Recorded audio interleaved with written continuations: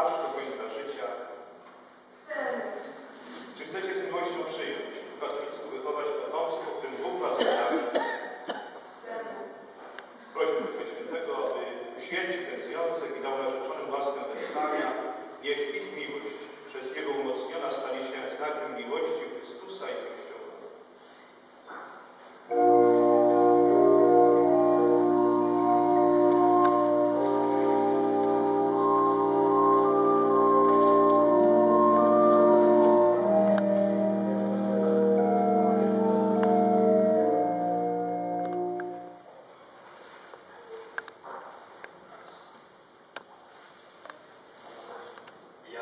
hardship